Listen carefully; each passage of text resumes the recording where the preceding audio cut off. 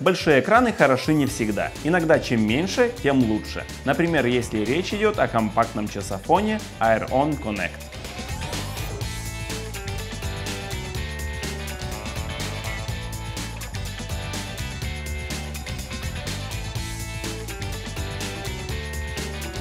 Основная часть часофона с дисплеем и батареей довольно большая и увесистая. Air On Connect хорошо смотрится как на мужской, так и на женской руке. К тому же производитель не стал ограничиваться стандартной черно-белой гаммой и представил еще две модели в оранжевом и голубом цвете. Сверху над дисплеем расположена камера. На левой грани разместились кнопка включения, она же завершение вызова, и клавиша звонка.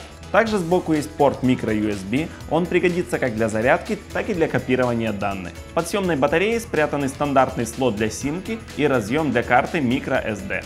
В ремешке удобно расположился компактный раздвижной стилус.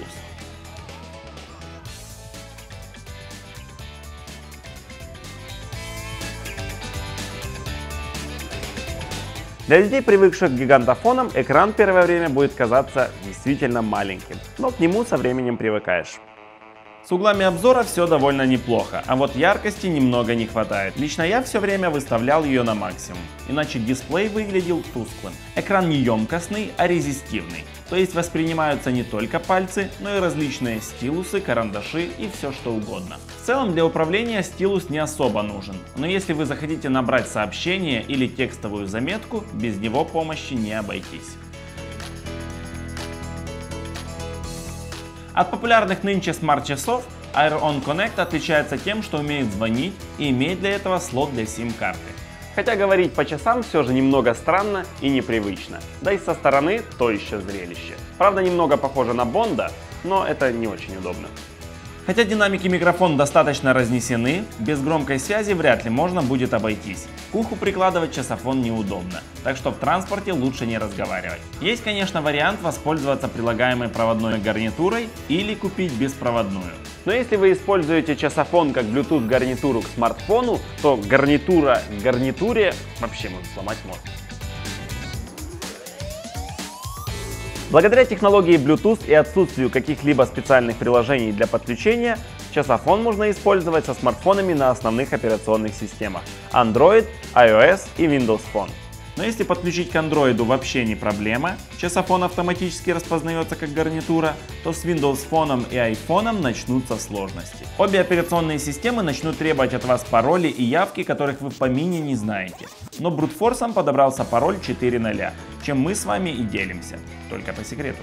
Но если с отображением вызовов со смартфона все отлично, то с сообщениями сложнее. Нужно скачать специальную программу, которая вот-вот выйдет и появится в Google Play. При этом даже если у вас стоит симка в часофоне и вы подключили смартфон, путаницы с набором номеров не будет. Часофон вежливо поинтересуется, откуда совершать звонок.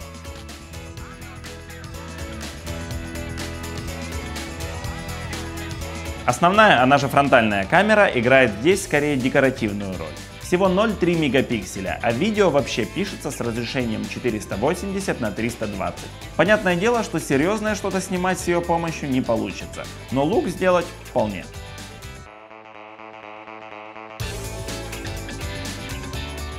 Интерфейс простой и понятный, очень напоминающий операционные системы обычных телефонов.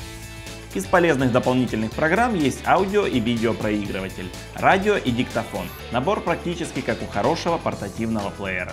Любители получать все в одном смогут даже книги читать с часофона. Но как по мне, это уже слишком. Экранчик все-таки маловат. Но вот для шпаргалок, угу, самый раз. Понятное дело, что привычными мегагерцами и гигабайтами производительность часофона не описать. Так что скажем так, работает достаточно быстро, отклик экрана нормальный. Встроенной памяти хватит ровно на 5 фотографий, так что карту памяти покупайте сразу. Батарея здесь не самая емкая. При условии очень активного использования утром второго дня часофон упал в голодный обморок. Спас только второй аккумулятор, который идет в комплекте. Жаль только, что отдельной зарядки для батареи нет, и заряжаются они только через часофон.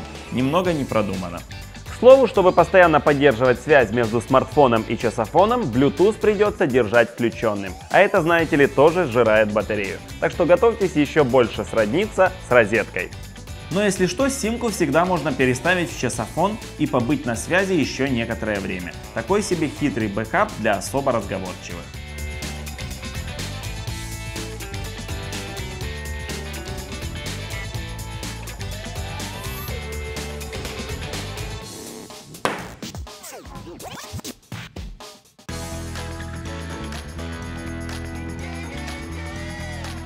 В целом AirOn Connect по-своему выделяется среди конкурентов, но не обошлось без недостатков. Сложности с отображением сообщений, достаточно мелкие элементы управления на экране, ну и батарея быстро садится. Но зато это не просто гарнитура, а настоящий телефон. Также его можно синхронизировать с вашим смартфоном и использовать как смарт-часы. Очень интересная штука.